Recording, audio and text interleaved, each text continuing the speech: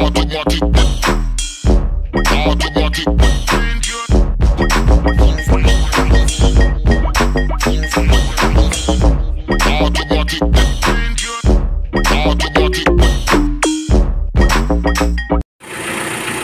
mga boss, ah, magandang umaga sa inyong lahat. Ah, welcome ulit sa ating channel. Okay mga boss, ah, meron tayong mga kliyente ngayon, adventure. Ah, galing pa siya ng ah, Laguna, Santa Rosa, Laguna mga boss, no? Ang issue ni boss, ah, kagaya ng mga nagiging issue pa rin ng ating mga sasakyan pagkatanghali, ah, hindi ganun kalamig at hindi na rin daw siya nag-automatic. Pero ngayon mga boss, ah, panay ang automatic naman niya, no? Ah, maganda naman yung kanyang ah, automatic at meron din naman siyang response ng lamig. Pero pagdating ng mga tanghali na, hindi na rin ganun kaganda at hindi na rin nag-automatic. Mga boss, napansin natin yung pinakang compressor niya. Okay, nagmo-moist din ng ah, buong katawan ng compressor. So para sa atin mga boss, hindi ganun kaganda na nagmo-moist yung ating compressor. Ang reading ng low side niya at saka high side, medyo mababa ang high side, mga nasa 160. Ah, gumagalaw ng konti. Ang low side, mga nasa 45. So medyo kulang sa suction yung kanyang compressor mga boss. Kagagawa lang daw mga 2 months ago. 2 months ago boss. 3 months ago, okay. 3 months ago, ah, nagpalit din sila ng valve sa harap, nag-cleaning, no? Pero nakukulangan pa rin ng lamig si bossing, no? So ngayon mga boss, ang offer natin sa kanyang trabaho dahil hindi pa rin na ipa-flashing yung system, ang pinaka ah, maganda muna namin gawin bago namin hatulan yung ah, pump ng compressor, gawin muna namin yung system, no? Ipa-flash muna namin yung system, magpapalit ulit kami ng valve sa dryer. So ang pinalitan lang naman mga boss pala dito sa expansion valve niya harap lang. Pero yung likuran hindi pa nagpapalit, no? So pinakamainam muna na gawin namin, check upin muna namin yung lahat ng system, condenser, check din namin yung ah, dumi na pe pwedeng merong si radiator. So yun muna ang uh, pwede namin i-offer. Pero nag-advise din ako sa kanya na pe pwede na rin magpalit ng compressor at i-convert natin siya ng 17C. Pero kagaya ng sinasabi ko mga boss, hanggat maaari, huwag tayong gumasos kung mapapalamig naman natin ng ah, mas malamig kaysa sa nirereklamo niya at magiging komportable. So hindi muna sila gagastos ng ah, malaki mga boss. Kasi yun naman din ang target lagi natin, no? Na magpalamig nang hindi naman nagpapalit ng iba-ibang pyesa. Okay, ah, Santa Rosa, Laguna mga boss at ah, andito sila. Boss, anong pangalan mo? Ben Sanchez. Ayun, si Sir Ben Sanchez andito no. Mga boss, ah sige subukan natin no. Sa paraang alam natin kung ano yung magagawa natin pwedeng itulong kay Sir Ben. Tingnan natin mamaya kung ano magiging improvement no. Basta ang nangyayari sa kanya, kulang ng lamig sa tanghali, hindi na rin nag-automatic sa tanghali no. So, tingnan natin. Mga boss, sana sana makatulong tayo dito kay Sir Ben na adventure. Okay? Thank you. Okay, ah, mga boss, yung condenser naman niya, hindi pa naman ganun kalala, ano? So, kurig pa siya, hindi pa rin napapalitan. Ah, medyo maayos pa naman yung kondisyon sa labas, no? Pero syempre mga boss, yung loob nito ang hindi natin alam kung gaano siya kaganda. Or, yung mga butas niya kung active pa ba lahat, no? Kasi may mga butas sa loob to. Yun ang tanong dito, no? Kaya ang gagawin natin, dapat mabomba natin to ng mas maayos kung ano yung uh, pinakamaraming panglinis, pambomba, yun ang kailangan natin gawin dito. Kasi pagka may mga butas na dyan na hindi active, doon nagkakaroon ng high pressure, no? At yun nga, babakapan din natin siya ng pan. So, medyo maganda pa naman yung condition kumpara sa mga nakikita natin na ibang ginagawa natin na hindi rin natin pinapalitan at umuubra naman. So, dito sana umaasa tayo na makakakuha tayo na medyo mas magandang lamig doon sa gagawin natin procedure sa kanya. Okay? Okay, ang maganda lang dito mga boss sa ganitong mga installation din o ng pagkakaposisyon ng ating compressor, hindi ganun kahirap, no? Kumbaga, medyo maluwag-luwag kumpara sa mga ibang sasakyan na sobrang sikip. So, ito, medyo hindi ganun ka komplikado hindi ganun kahirap tanggalin no uh, ilalim niya medyo wala naman siyang tagas din mga boss no medyo alaga rin siguro ni boss to So, adventure. Okay, so yun lang. Ito tatanggalin natin compressor. Kasi nagmumoist yung buong compressor niya mga boss eh. Hanggang katawan niya rito. So, sa atin kasi, sa experience natin, hindi dapat nagmo-moist ng sobra itong ating compressor dahil ito ay ah, mainit dapat itong kabilang side na parte. Kung mag may moist man, dapat yung pinakang ah, tube lang o yung fitting sa ibabaw hanggang doon lang, hindi hanggang buong compressor. So, pagka ganun kasi sa ating ah, malawak na karanasan lagi na nai-encounter yung ganyan, sa expansion valve tayo nagkakaroon ng trouble, no? So ngayon, titingnan natin yung ating valve kung makakuha tayo na medyo matino. Kasi mga boss talaga, ang lumalabas talagang halos dispalinghado lahat. Mga replacement kasi halos lumalabas ngayon. Kaya mahirap tayo makapamili ng talagang alin ba ang totoong original. Okay. Okay, naibaba na natin yung compressor niya. Testing. Medyo matabang talaga ng konti. Pero meron. Langis. Wala na langis eh. Wala na pumatak. Ayun, meron.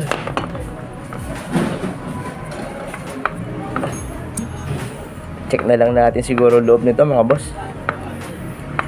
Medyo mahina talaga. Hmm? Ayun lang. Kaya pagka nire-rev lang siya daw nag-automatic pagka medyo mainit na ang panahon. So kailangan na ng compression natin na mas mataas na RPM para bumomba na maganda. Siya ha.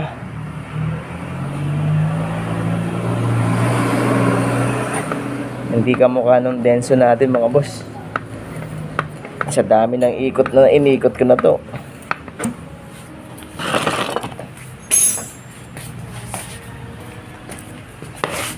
Eto yung denso natin eh. Oh. Sobrang lakas. Konting ikot lang.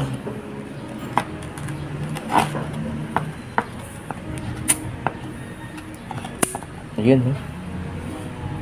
So, yun ang kalaban, no? Pero subukan natin, check natin kung pwede pa. Kasi ang intention talaga natin eh wag naman tayong magasusan, no? Yun nga lang, ang problema, paano ka makakapagpatino ng isang bagay kung may problema talaga. So, tingnan natin, silipin natin yung loob kung may pag-asa pa. Okay. Okay mga boss, na i-pull out namin yung kanyang ah, evaporator. May napansin lang kami sa portion na to na may yellow pa, no? So, nag-yellow yung evaporator nung ito, ito, itong pinakang portion na to. So, siguro, sabihin natin na may error nga sa expansion valve natin mga boss, no? Pero ang tanong bakit nag-yellow siya? Eh, nag-automatic naman. So, dalawa lang ang pwedeng panggalingan ng pag ng evaporator. Expansion valve, nagbabara, or hindi nag-automatic. Eh, dumating naman si Sir nag-automatic naman. Ah, obserbahan din naman natin. Pero bakit nag-yellow? So, yun ang medyo na-encounter na rin natin to dun sa ating isang ginawa. Nag-yellow yung kabilang side. Malamig nung umpisa, pero nung tumatagal na, hindi na lumalamig na ganun kalamig. Yung pala yung kalahati ng evaporator natin, nag-yellow na. Minsan kasi talaga sa pyesa may mga sablay kasi talaga lalo na kung replacement. Pero subukan natin mga boss yung version natin kung mangyayari at uulit pa ba yung ganyang uh, pagyelo. Kasi syempre pag nagyelo yan, hindi na lalamig na maayos yan dahil mababarahan na yung ibang mga butas dyan. So medyo i-challenge na naman yata tayo ng sasakyan ni Sir Ben ah. Medyo papahirapan na naman yata tayo nito. Uh, subukan natin mga boss at uh, tayo na makakuha tayo ng magandang improvement dito. Yun nga lang, challenge talaga mga boss. Kasi bago ang evaporator, bago rin yung expansion valve. Ah, pero bakit may mga ganyang issue pa? No? So medyo mahirap ah hanapin yung nagiging cause ng problema pagka ganyan. Lalo na kung pyesa, mga boss, ang nagiging problema natin. Dahil yung mga lumalabas talaga, mga replacement talaga. Yung ganitong brand mga boss, ah, itong pinakang nakaukit na to, ang urig talaga nito, Fuji Cookie. Iyang ganyang ah, logo.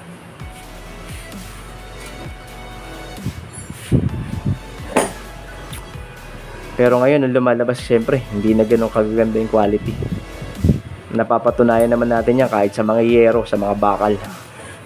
Talagang may mga depende na sa halaga, kung magkano halaga. Ang tibay ng mabibili mo ngayon. So, subukan natin muna mga boss. At ah, sigurado, i-challenge tayo nitong sasakyan na to. Pero handa naman tayo dyan. Sasamahan natin yan ng ah, panalangin. Kay Sir Ben, nasasakyan.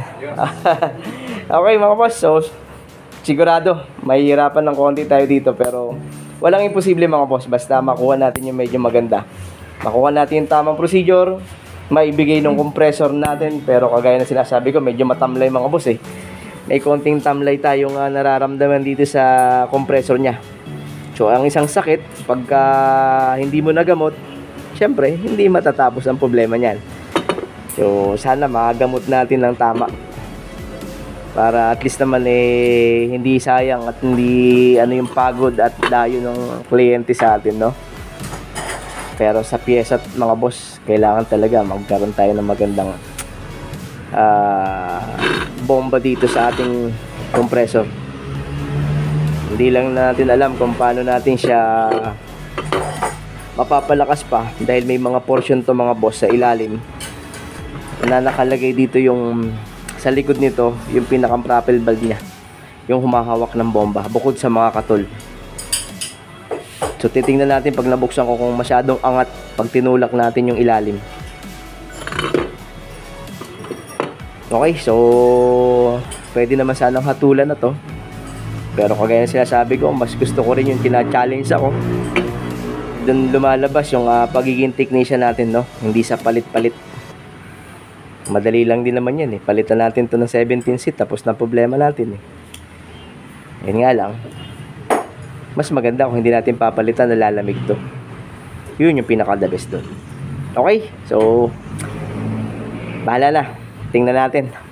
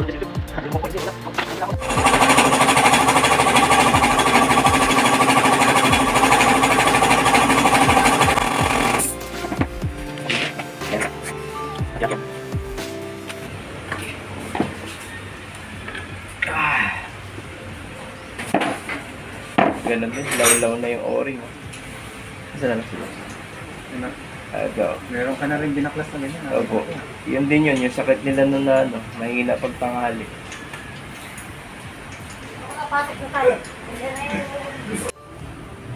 Okay mga boss, ah na-check na natin yung kanyang compressor. So wala namang ganong kalala na damage yung loob, no? Chinek din natin yung kanyang mga katol. Wala pa naman ganun kalalim na gasgas mga boss. So, uobra pa naman to. Nga lang yung o-ring niya talagang sobrang wala na, maga na. Sobrang lambot na. So, kung hindi din natin to binuksan para palitan, magkakaroon din siya ng leak, no? Kaya, isang maganda na ginawa natin, nabuksan, napalitan ng panibagong o-ring. Kasi sisingaw na to, mga boss. Sobrang lambot na niya. Okay, andito na. Saka lumaki na, mga boss. Sobrang luwag na nung o-ring niya. Pagtanggal natin, lumuwa na agad siya. At ano pa bang maganda? Yun, nalinis natin isa-isa. Sariwa pa naman yung loob, mga boss eh. oh.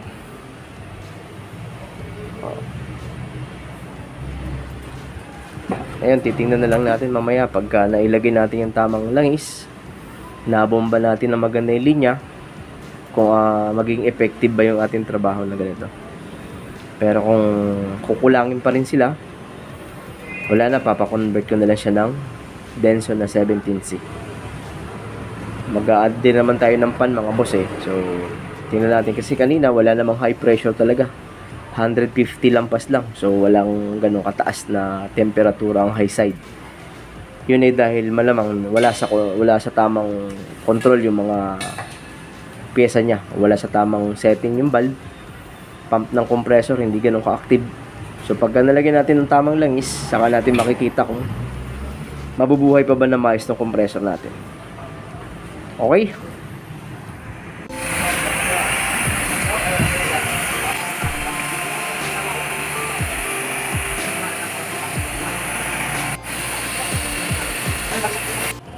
Okay, huwag mo na. Next week. Kaya ba? Na kami. Bukas meron kami ano. Kasi try natin bukas ng ano. Kasi Ay, anong oras? Magsisimba lang kami bukas.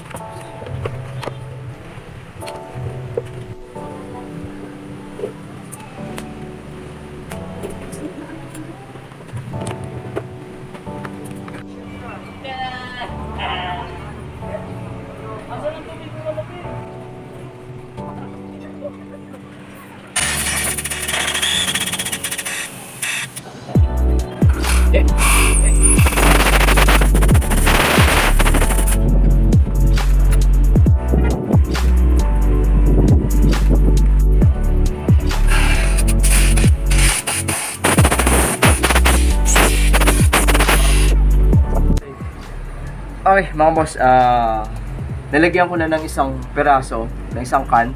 Pero dodoblehin pa natin mga boss dahil yung nilabas niya kanina ron, medyo malangis talaga, malangis yung condenser natin. Mas pinaka-effective kasi mga boss pagka nagpa-flashing, yung hindi ka nagtitipid, no? Yun yung pinakamaganda. Minsan kasi ah natitipid natin sa trabaho, natitipid din sa materialis, kaya yung resulta hindi ganun kaganda syempre. Ito yung mga isang sekreto rin na pwede nating ah, maasahan na makakuha tayo ng magandang improvement ng lamig. Yung hindi tayo nagtitipid, hindi tayo nagmamadali sa ating ginagawa.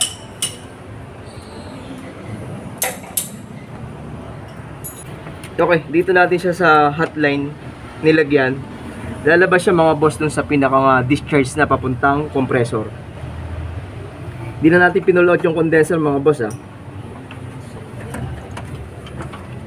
Minsan kasi kaya yung iba nagtatanong o kaya sinasabi na nai-flashing na, nagawa na no, pero bakit hindi pa rin ganun kaganda yung improvement nung lamig.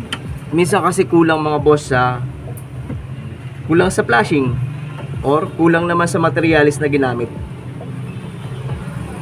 Depende po yan sa inyo kung gusto nyo makakuha ng magandang improvement, syempre, sa pinaka magandang ah, trabaho mo gagamitin o gagawin.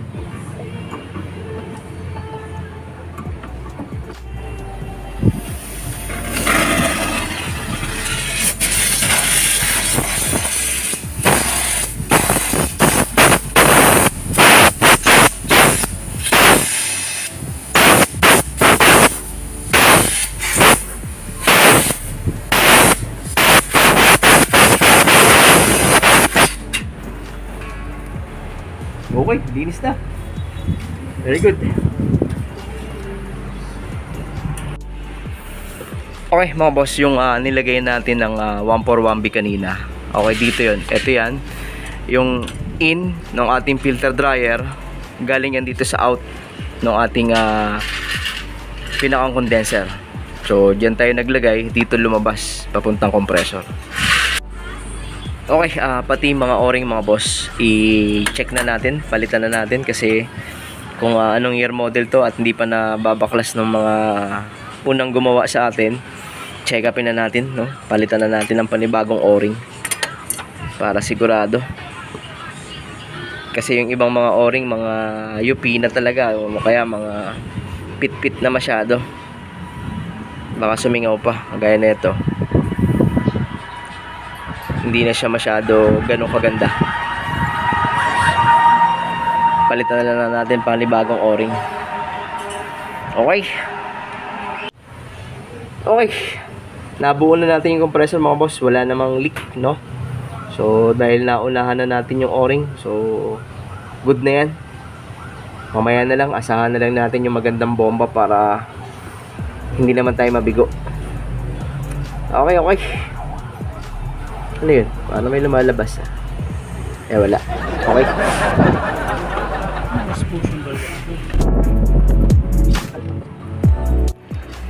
Okay, mga boss, ah ito yung gagamitin nating ah, additional fan ng ating condenser ano. Ah, may binili rin si boss na fan pero yun yung 10 blades no. Ah, pinakita natin sa kanya itong ating mas malaki ang motor kumpara doon sa 10 blades. So mga boss, ah, medyo mas malakas ng konti ito kumpara doon sa 10 blades no. Ah, hindi naman porke meron tayo ay ino-offer natin, no? Dahil may dala naman siya. Pero napagdesisyon na niya na ito na lang ang ikabit. Dahil ah, nakita rin naman niya yung motor, mas malaki ito kumpara doon sa 10 blades natin. Pero kagaya sinasabi ko, may dala siya. Kung ano yung ikakabit niya, wala namang issue sa atin, no? At dala rin niya to mga boss. May dala rin siyang relay, switch, fuse holder, wire. So yun. Pero itong pan lang na to na gagamitin natin ay kinuha niya sa atin, no? Uh, hindi natin to ino-offer dahil meron tayo. Ang ino-offer natin dito, kahit pa paano ay mas malaki ang motor kumpara sa 10 blades. Pero, kagaya na sinasabi ko, gumagana yon maayos din naman. Wala namang problema kung ah, yun ang ikakabit. Pero kung maghahanap ka ng konting speed pa, syempre, yung magagawa ng mas malakas ang RPM, hindi magagawa ng mahinang RPM. Okay, so bago natin ikabit ito mga boss, lalagyan muna namin to ng rubber dito. Para at least hindi siya makagasgas na sa ating condenser. Okay?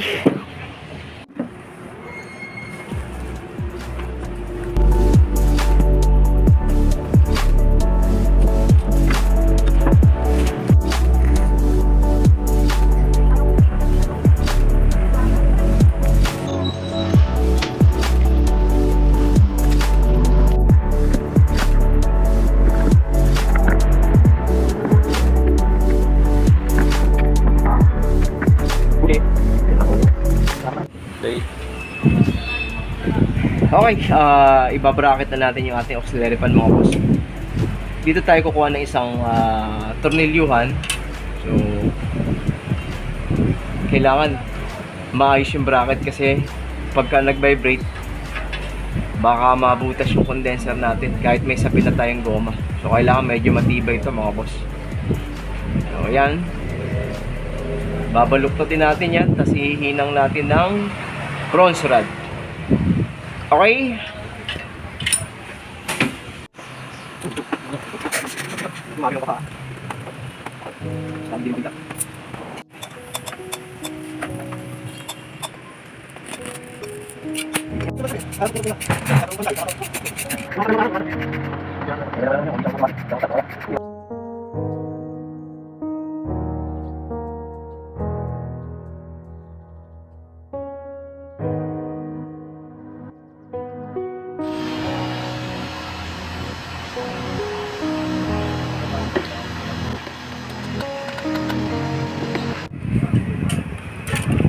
Okay, mga boss, mag-install na tayo ng ating ah, electrical ng ating auxiliary fan. Nga pala mga boss, ah, dalawang bracket lang yung ating nilagay, no?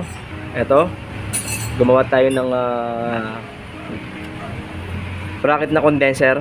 Tapos meron doon sa isa sa ilalim mga boss. Okay, matibay naman. Walang palag. Matibay na matibay. Okay. So, electrical tayo. Ah, kagaya ng sinasabi ko, dala ni boss tong ating relay. So, dito natin lalagay. Tapos, fuse holder niya, maliit yung na bili niya. Okay lang, meron naman tayo. Naglagay na tayo ng terminal. Ito yung live natin mga boss. Ito yung isa nating papunta sa switch sa loob. Okay? So, binubutas na yung lagayan ng switch doon.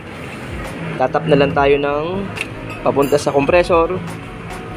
Ah, ay hindi nga pala. Switch nga pala papaganahin ni boss. Okay. Wala pala tayo sa compressor. Ang trigger natin ay switch niya. Kasi i-on lang niya pagka kailangan. So, diretso na tayo dito sa ating auxiliary fan.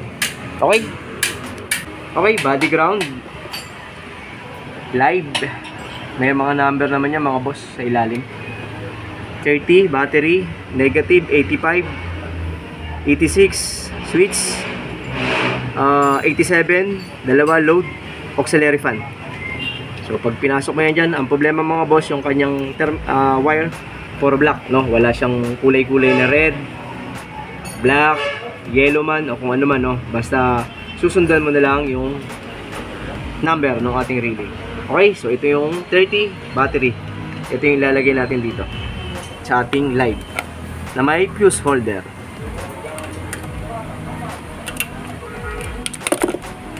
Um, medyo maikli ba? Pasok ko doon. Maganda ko sa ilalim pag-alim. Para medyo maganda ang swabe. Swabe, swabe.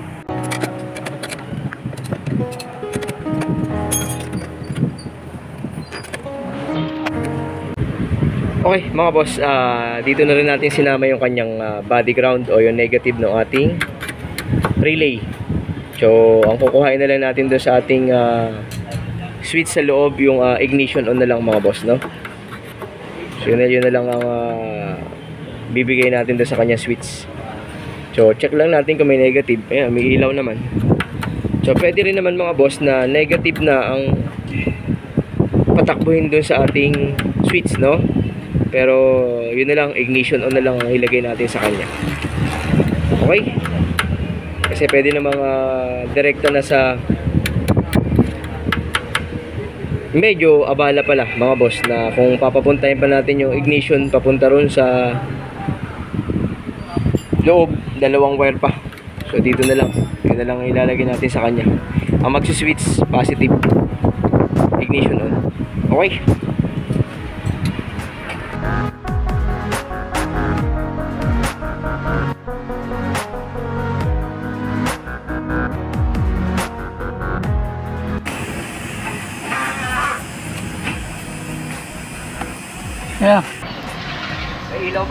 Pa. Meron. Sige, boss. Uy, galing. Patay mo susi na nakabukas yan. Hoy! Sige, on, susi. Patay. Okay. Nakailaw siya. Sige sir. Okay? Okay? Very good. Okay, mga boss, ah natapos na tayo. Nakapagkarga na tayo ng Freon. Medyo natatamlayan pa rin tayo sa compressor, mga boss.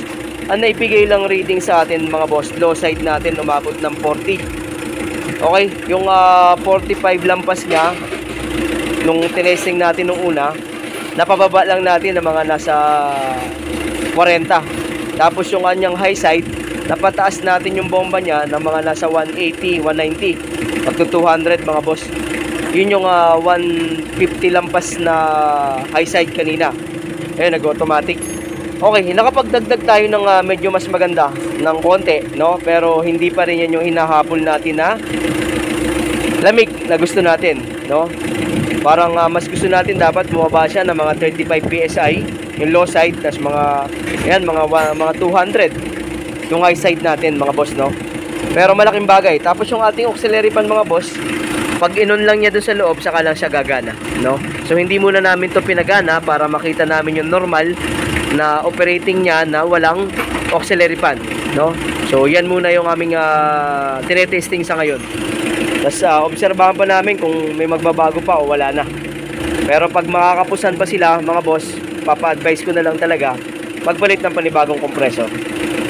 Ayun lang mga boss. Testing ulit ng ah, mga ilang minuto pa.